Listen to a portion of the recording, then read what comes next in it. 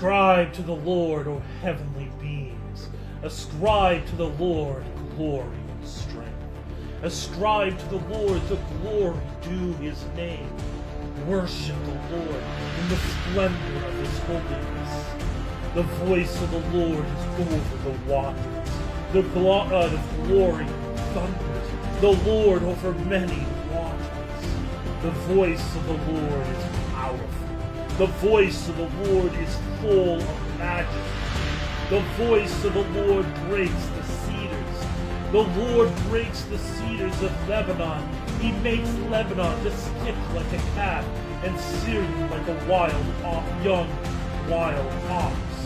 The voice of the Lord flashes forth flames of fire. The voice of the Lord shakes the wilderness.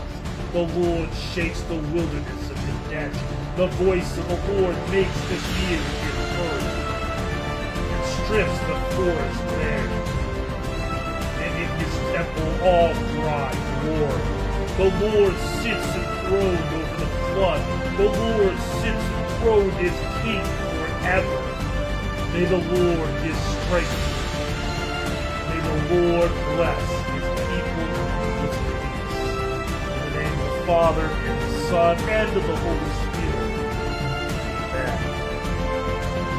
I believe God the Father Almighty, maker of heaven and earth, and in Jesus Christ, his only Son, our Lord, who was conceived by the Holy Spirit, born of the Virgin Mary, suffered under Pontius Pilate, was crucified, died, and was buried.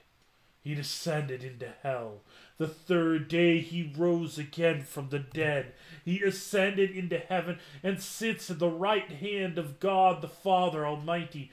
From thence he will come to judge the living and the dead. I believe in the Holy Spirit, the holy Christian Church, the communion of saints, the forgiveness of sins, the resurrection of the body, and the life everlasting. Amen. The verse of the week Jesus answered, Truly, truly, I say to you, unless one is born of water and the Spirit, he cannot enter the kingdom of God. That which is born of the flesh is flesh, and that which is born of the Spirit is spirit. What is baptism? Baptism is not just plain water but it is the water included in God's command and combined with God's word, which is that word of God. Christ our Lord says in the last chapter of Matthew, Therefore go and make disciples of all nations, baptizing them in the name of the Father and of the Son and of the Holy Spirit. Let us pray.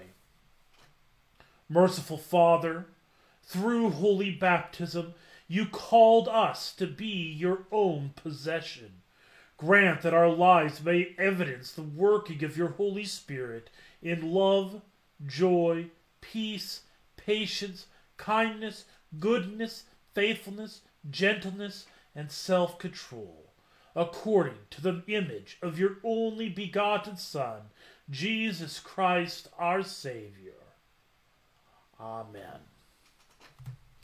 The reading for today is going to be Matthew chapter 3, verse 13 to 17. And let me get that to where it needs to be. There you go, Matthew. Matthew chapter 3. It's up there on the screen for you. Well, it will be. So, as you can tell, if you keep, hopefully you can notice, um, today we are really in the midst of a series of um, scripture readings that basically revolve around the theme of baptism. You can see it, you know, up on the above there. You see the little words baptism right there. Um, we're going to be talking about the baptism of Jesus here. Um, the closing hymn is going to revolve around that theme. Uh, you as we just I just did the words from the Catechism. What is baptism? The verse of the week revolves around baptism. So we have a very strong baptism theme. So it's a good time to refresh. What is baptism? Where do we find it in the scriptures? So so here we are. We are in Matthew chapter 3, verse 13. It says, Then Jesus came from Galilee to the Jordan to John to be baptized by him. John would have prevented him, saying, I need to be baptized by you, and do you come to me? But Jesus answered him, Let it be so now for thus it is fitting for us to fulfill all righteousness. Then he consented. And when Jesus was baptized, immediately he went up from the water, and behold, the heavens were opened to him, and he saw the Spirit of God descending like a dove and coming to rest on him. And behold, a voice from heaven said, This is my beloved Son, with whom I am well pleased. This is the text. So, I'm to. De- there's a few things to deal with in this text. Um, there's obviously the theme of baptism because when Jesus comes to be baptized, um, the word baptism, baptizo, literally means to wash. Now, sometimes you'll have people that'll get clever and say that baptizo has to mean um, immersion. Um, the problem with that is there's no nothing that goes with that. So let me, I'm going to pull up here another resource. So I'm looking at the Greek word baptizo, and I'm going to pull up this resource. It's known as BDAG. So you can see it right there on the screen. It probably means nothing to you as you look at it. But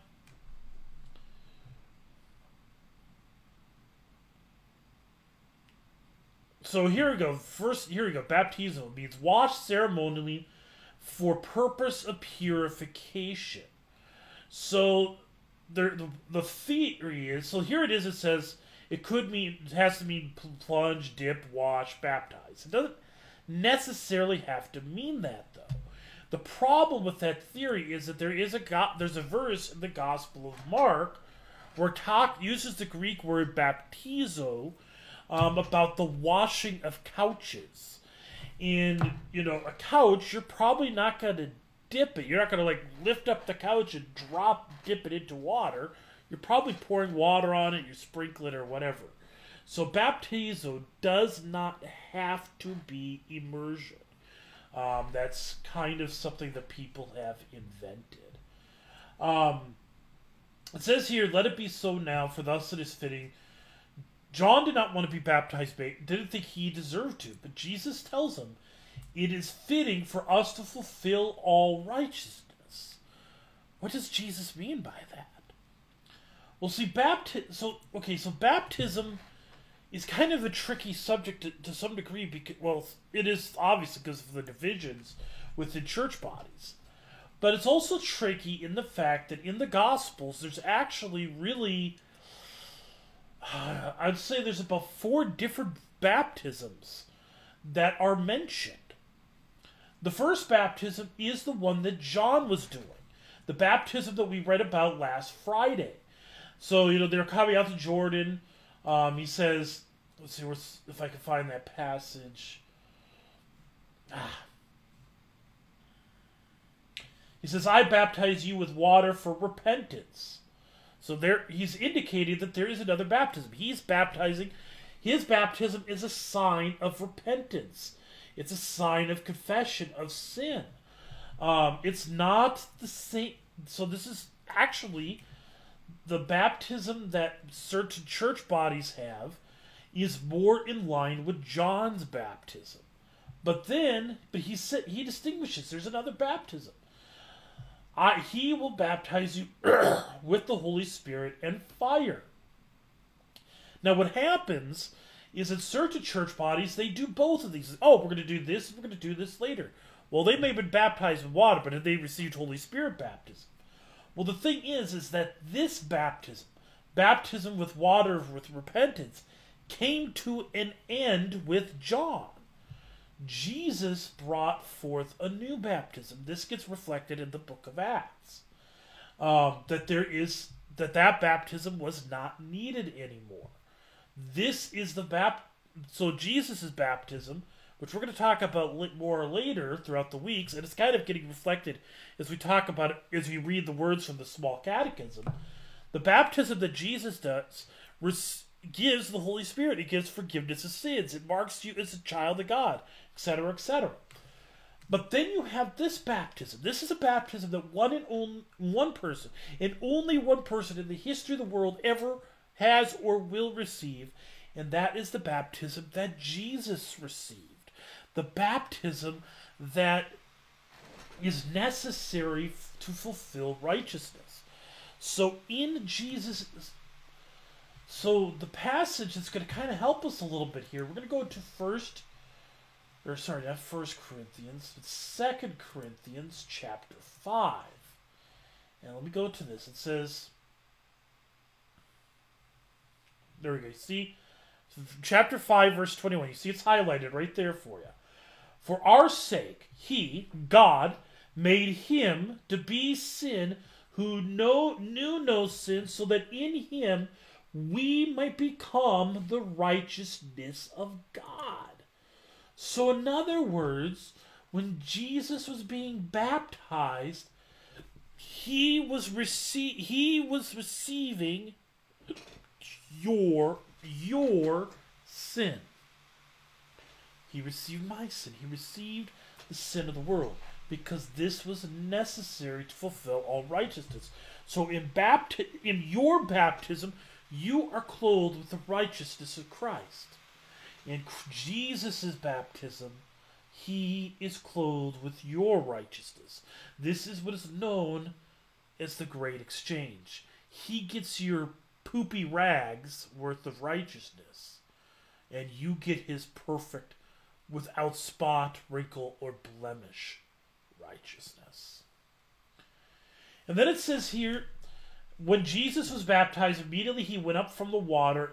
Okay, so there's a, there's this belief that you uh, bapt- going back to that thing about immersion.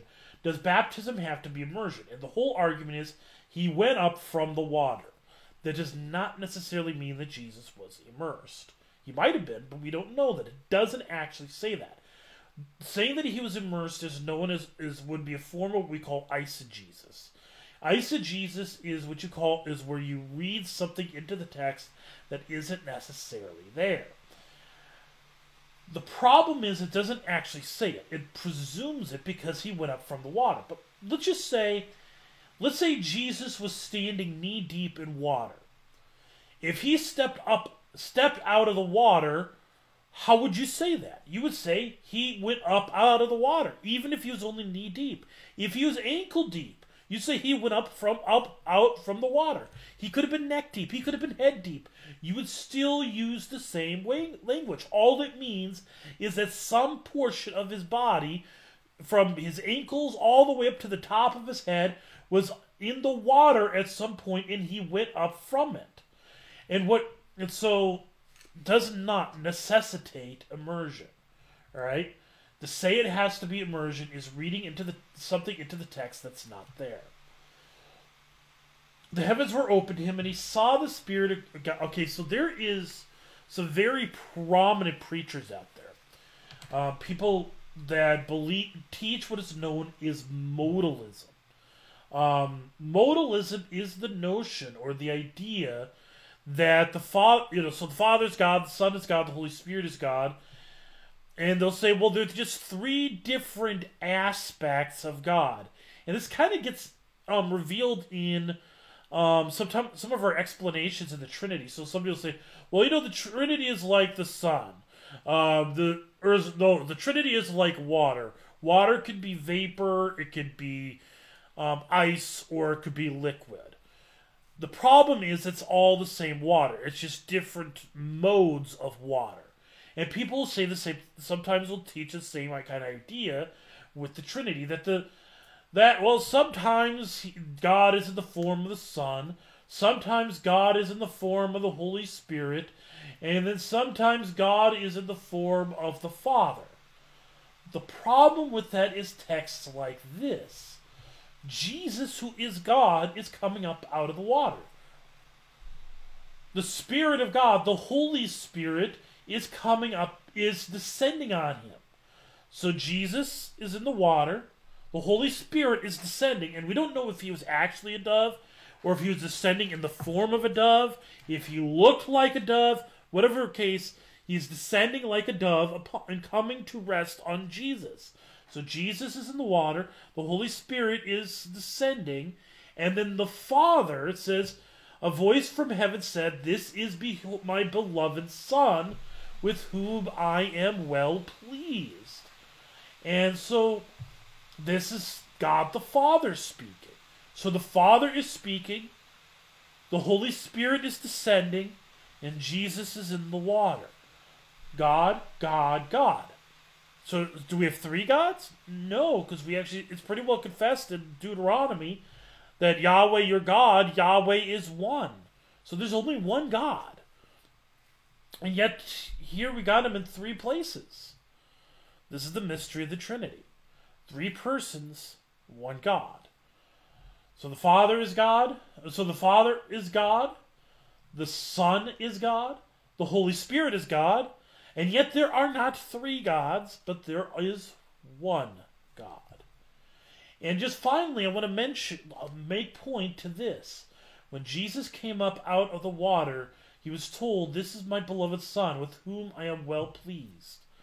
Jesus was baptized because it was necessary for to fulfill all righteousness, not because he had sin. Rather, he was he was baptized in order to receive sin. So that when you were baptized, your sin would be cleansed and you would emerge from the waters. And just as with Jesus, the Father could, would say unto you, This is my beloved Son, with whom I am well pleased. So, we pray.